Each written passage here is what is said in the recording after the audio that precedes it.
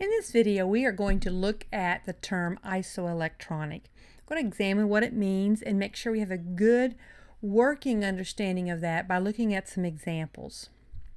So any atom or ion that has the same electron configuration is said to be isoelectronic. So here are a couple of examples. We have F minus with this electron configuration and O2 minus with this electron configuration. Notice how their electron configurations are the same. If we look at a periodic table of these two, and we see it here blocked out, um, oxygen is helium 2s2 2p4. And if we add two more electrons, it gets the same electron configuration as neon.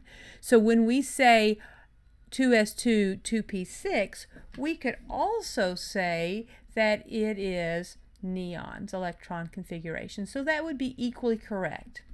The same thing is true for the F minus.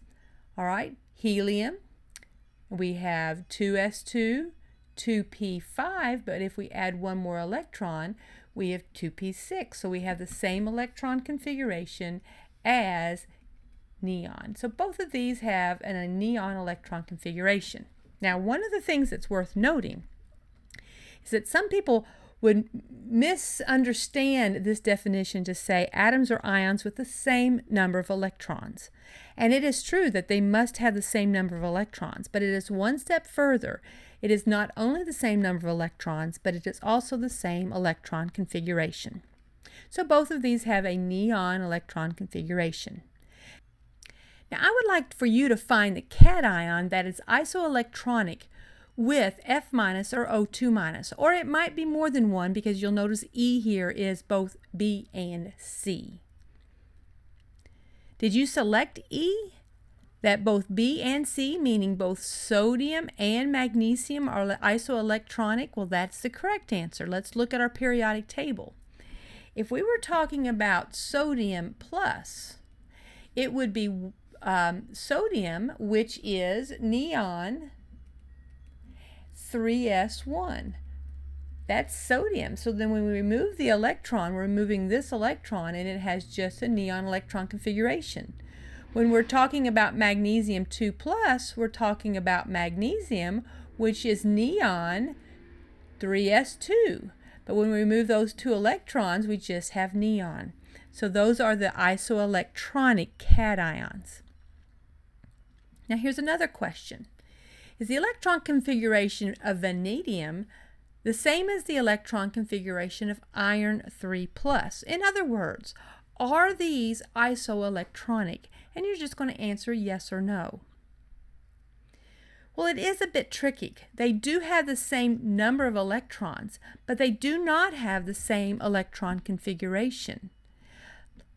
So they can in some cases have the same number of electrons and not be isoelectronic. Let's examine these two. Let's do the electron configuration of just vanadium first. The noble gas that comes before vanadium is argon. And then we come across and we have 4s2 and 3d3. When we do iron 3 plus, we first do iron. Iron's electron configuration is argon, 4s2, 3d, and we're going to count over 1, 2, 3, 4, 5, 6. And then when we remove the three electrons to make it Fe3+, we certainly will have the same number of electrons, but the electrons that we remove will be these two first and then one of the 3D, so it gives me 3D5.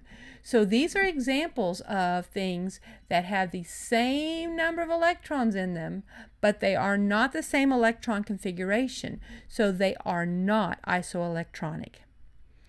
So it's a term that you need to get familiar with, and we will be utilizing that as we proceed through our lessons of what we can know about an element and its ions once we know its electron configuration.